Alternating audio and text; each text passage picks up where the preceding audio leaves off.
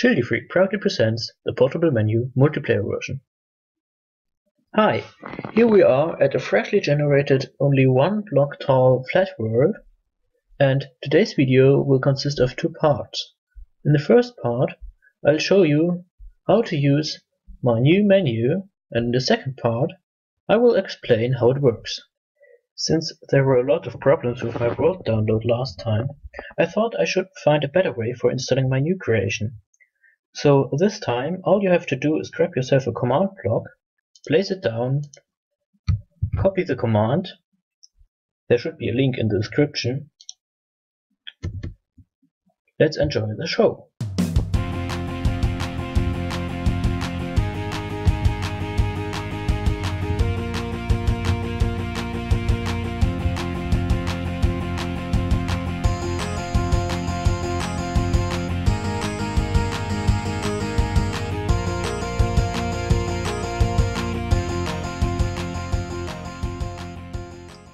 That's it.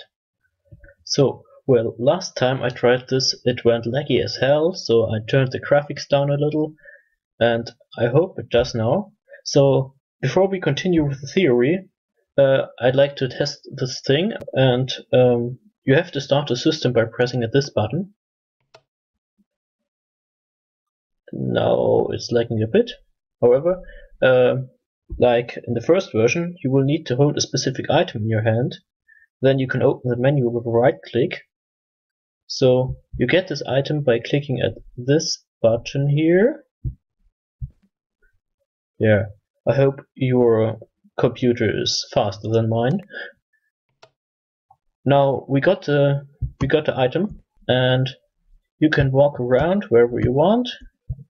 Take the item in your hand, do a right click and use the options in your menu like making it say hi to you.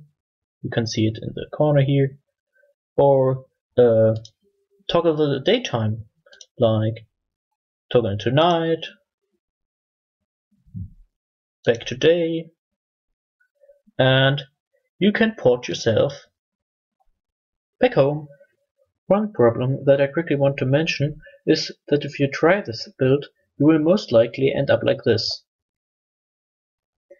which is especially annoying in first-person camera mode.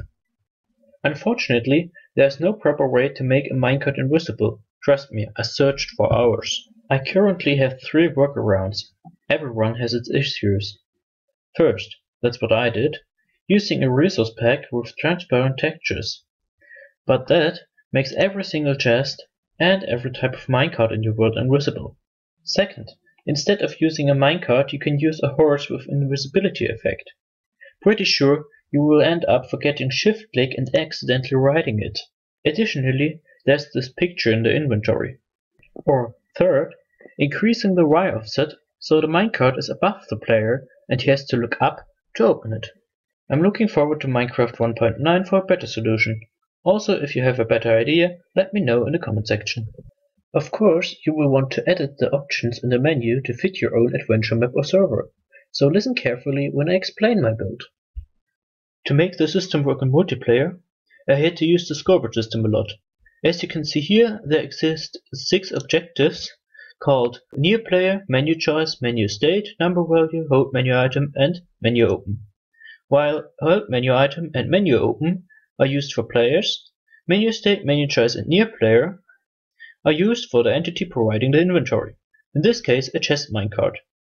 Number value exists due to the fact that you can calculate with scoreboard values, but there is no option to use a fixed value.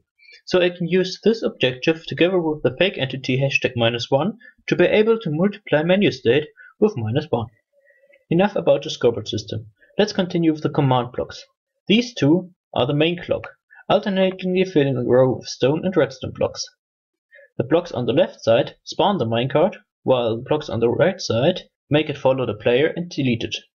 The first two command blocks make sure the hold item is 1 for every player who holds a defined item in his hand and 0 for everyone else. If hold menu item just became 1 for a player, his menu open score is still 0 by now and this command block summons an invulnerable minecart named options near him. The menu state score of this minecart is set to minus 1. And after that the menu open score for the player is set to 1 to show that he now has a minecart. If a player unholds the item, both scores, hold menu item and menu open, are changed back to 0. The first commands on the right side teleport the nearest minecart to each player having a minecart, thereby making it follow him when he walks around. Any other minecarts are deleted by the following blocks using the scoreboard objective near player. This pattern of command blocks over here manages the inventory or menu itself. To optimize performance, these blocks are powered by a clock running half the speed of the other clock and only if at least one player has a minecart around. If you want to have a more consistent experience, you may remove this redstone torch. Just try it out. As you might have noticed, when I showed my light tool, your menu may contain several pages. For each page, there is a command block down here, and I'm sure you will easily find out how to add and edit pages. To avoid some problems with changing between pages, you have to set the menu state score of the minecart you want to show in your menu page to minus the number of your page, and this command block will convert it just at the right moment by multiplying it with minus 1. Up here, each row describes one click event. The first block is the same for every row, so just copy it. In the second block, you have to enter the inventory slot of the item. In the third block, you have to change the number of the page behind menu state and menu state min and description of the item.